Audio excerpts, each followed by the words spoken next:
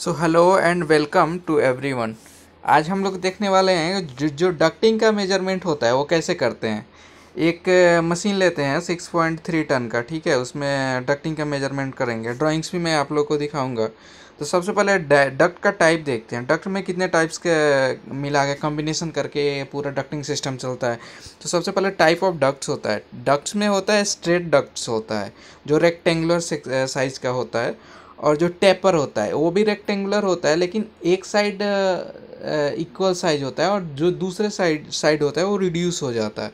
यानी उसको टेपर बोलते हैं। नाइन्टी डिग्री एल्बो आप लोग सभी जानते हैं। फिर उसके बाद से forty die forty five degrees equal elbow unequal elbow और एंड कवर तो ये सारे डक्ट्स का टाइप है, ठीक है? अब इसके बाद से यहाँ पे नंबरिंग दिया हुआ है type one two three four five six यहाँ पे कौन कौन सा डक्ट यूज़ हुआ है? टाइप वन वन यानी स्ट्रेट डक्ट्स है। तो इसका बीर्थ है जो एट हंड्रेड एम एम और जिसका हाइट है टू फिफ्टी एम एम और बीर्थ और हाइट हो गया जो इसका लेंथ आएगा, वो लेंथ कहाँ से आएगा? लेंथ लेंगे ऑटोकेट्स का जो ड्राइंग्स होगा। उसमें मेज़रमेंट करेंगे लेंथ कितना एम एम आ गया तो three thousand two hundred sixteen M M यानी थ्री पॉइंट टू मीटर का ये लेंथ का, इस इस साइज़ का, इतना लेंथ का मेरा डक्टिंग है। फिर दूसरा में आ गया टेपर जो टेपर है, वो taper eight hundred two fifty फिर अदर साइड है सिक्स फिफ्टी टू फिफ्टी और जो टेपर है सिक्स फिफ्टी एम एम का है, ठीक है?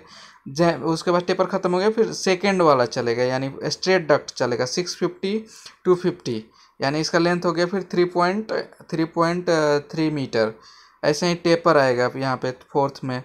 यहाँ पे टेपर आ गया सिक्स हंड्रेड टू फिफ्टी और फोर फिफ्टी फिर थर्ड में आ गया आपका फिफ्थ में आ गया आपका स्ट्रेट डक्ट यानी तीन स्ट्रेट डक्ट स्ट्रेट डक्ट है, तीन टेपर है, ठीक है? नहीं एक, दो, तीन, चार स्ट्रेट डक्ट है और तीन टेपर है। तो अभी इसका ड्राइंग्स में दिखाऊँगा, ठीक है? उसके बाद आपको आइडिया होगा पूरा। फिर उसके बाद से ये तो डक्टिंग का हो गया, ठीक है? डक्टिंग में यहाँ पे final fourteen point three eight six metre आ गया। उसके बाद से आता है कि सीट थिकनेस एंड एरिया जो स्क्वायर मीटर यानी जो उसका इंसुलेशन सीट का थिकनेस है जैसे जिसमें यहाँ पे गेज होता है, गेज मोटाई को बताता है कितना थीकर है।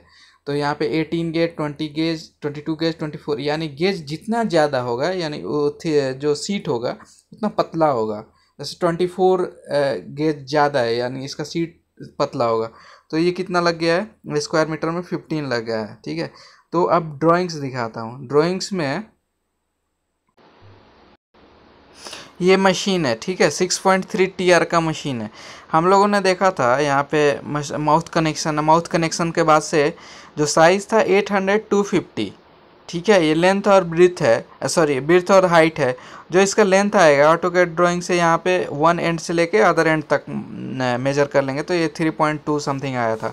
तो ये ये सेक्शन का हो गया फ़र्स्ट स्ट्रेट डक्ट फिर उसके बाद से देखा था टेपर डक्ट यानी ये टेपर वाला डक्ट का इस फोर फिफ्टी एम का ये हो गया, दूसरा सेक्शन हो गया। एंड जो थर्ड सेक्शन हो गया straight duct six fifty by two hundred और जो इसका लेंथ है, वो मेज़रमेंट करेंगे इस ऑटो कैट ड्राइंग से।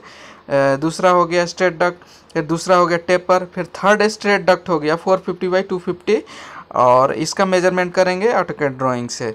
और फिर फोर्थ वाला हो गया three hundred by two fifty और इसका मेज़रमेंट करेंगे लेंथ ऑटो कैट ड्राइंग से one two three four straight duct है और थ्री जो मेरा टेपर है।